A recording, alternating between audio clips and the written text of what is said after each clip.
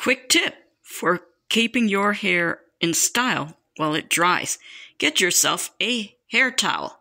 Now, the unconventional vice that works, if you don't have a hair towel, get yourself a nice big tea towel, and that will do the trick almost as well as getting yourself a hair towel.